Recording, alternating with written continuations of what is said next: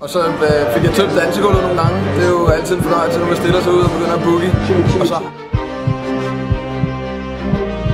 It looks like it. Nu har vi det lidt bedre. Om to timer så whoopty whoopty. Ja, XBC og Juicy. Hvor mange timer fik du sovet under den her to timers kamp? Jeg har ikke sovet.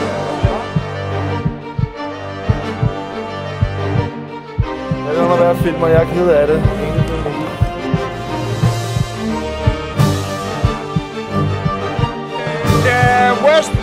time. Uh,